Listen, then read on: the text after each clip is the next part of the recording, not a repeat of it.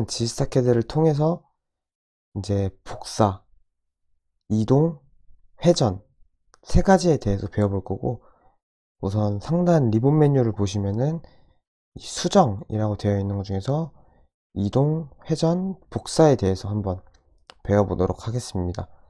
일단 이동이라는 명령어부터 사용하는 방법에 대해서 설명을 드릴 거고 일단은 선을 이 가운데 하나 그려 놓은 상태에서 이 선을 그려 놓은 상태에서 이동이라는 거를 클릭을 해도 되고 명령어로 m 이라고 입력을 하면은 무브라는 명령어가 실행이 되고 이 상태에서 객체를 잡아준 다음에 객체를 잡고 엔터 그 다음에 기준점을 잡아주고 두 번째 점을 지정을 하라고 나오는데 여기서 두 번째 점을 그냥 원하는 위치에 지점을 하게 되면은 이런 식으로 여기에 있던 선이 일로 이동하는 것을 보실 수가 있고 다시 이동을 해서 엔터 객체를 잡고 뭐 두 번째 점 어디를 찍겠다.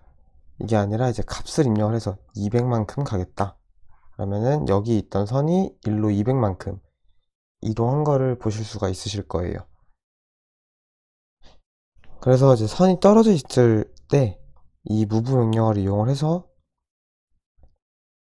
그릴 수가 있고 예시로 이런 식으로 선이 있는데 여기가 떨어져 있는데 이거를 여기에 다시 그려도 되지만 이거를 이제 이동해서 이쪽에 붙일 수 있다라는 거를 보여드리기 위해서 한번 다시 한번 사용을 해볼게요.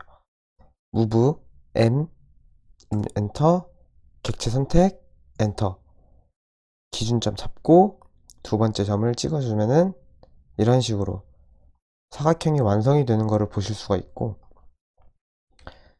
그래서 이제 떨어진 객체나 뭐 선을 이동을 할 때 혹은 이런 전체적인 객체를 이동을 할 때 사용을 하는 명령어 move에 대해서 설명을 드렸고 다음은 회전에 대해서 설명을 드릴 건데 회전은 이제 rotate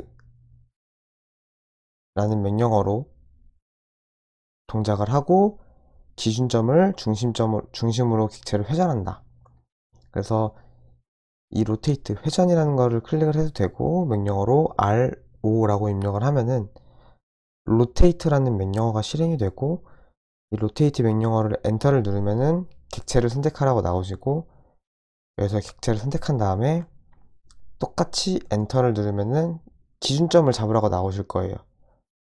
기준점을 나, 잡으라고 나오는데 여기서 중간점을 잡아주고 이런 식으로 회전할 각도에 대해서 선택을 할 수가 있고 지금 이 상태에서 뭐 한 30도만 돌아가겠다. 그러면은 30 그러면은 이 기준으로 30도만 돌아가는 것을 보실 수가 있고 또 이거를 다시 돌려서 여기에 다시 맞추겠다. 그렇게 되면은 또 RO 로테이트 입력을 하고 혹은 상단의 회전. 클릭을 한 다음에 엔터 객체 선택하고 엔터. 그 다음에 중간점 잡아주고 다시 한번 돌려서 이런 식으로. 원하는 각도에. 뭐 90도든 180도든. 이미 30이 왔기 때문에 한번 더 150도로 한번 돌려보도록 할게요. 이런 식으로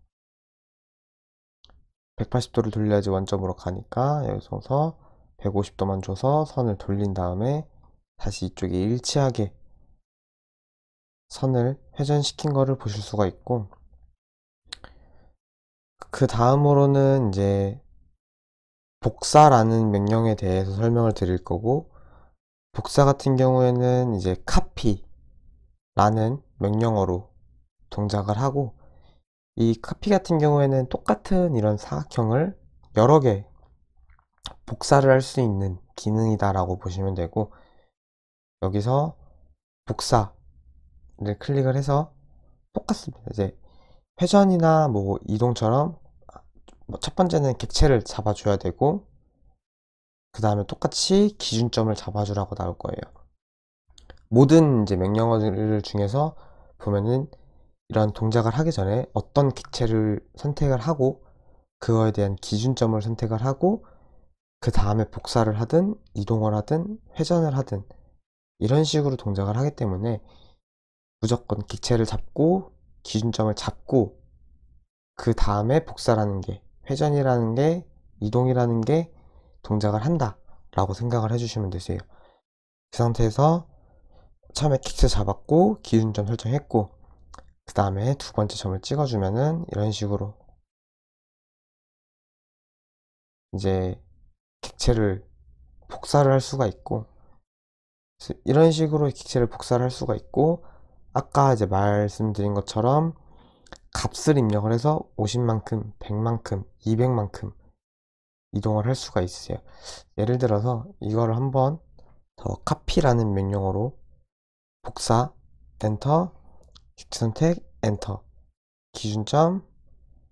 그러면 일로 이동을 해야 되는데 천만큼 가겠다. 천. 이런 식으로 겹쳐서 지금 이동이 된 걸 보실 수가 있는데.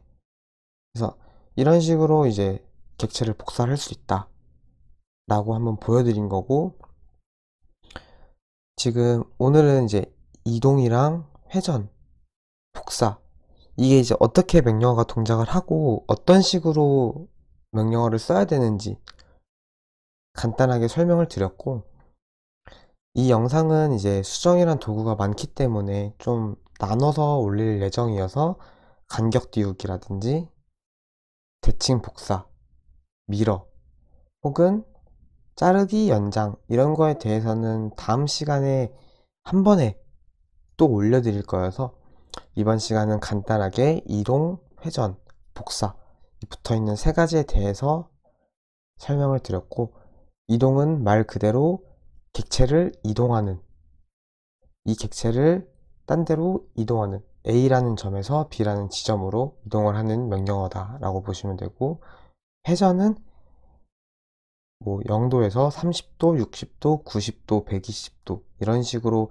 이 CAD 안에 있는 객체를 회전시킬 수 있는 기능이라 라고 보시면 되고 복사 같은 경우에는 기존에 있는 객체를 다른 곳에다 똑같은 복사를 그러니까 기존에 있는 객체를 이제 복사를 해서 다른 곳에도 넣을 수 있게 할 수 있는 기능이다 라고 보시면 될 거예요. 그래서 간단하게 이번 시간에는 이동, 회전, 복사에 대해서 설명을 드렸고 이거에 대해서 명령어나 단축키는 타임라인에 따로 적어서 한번 유지를 해 놓도록 하겠습니다 다음 시간에는 이제 간격 띄우기, 대칭 복사, 뭐 연장, 자르기 이런 거에 대해서 한번 자세하게 배워보도록 하겠습니다.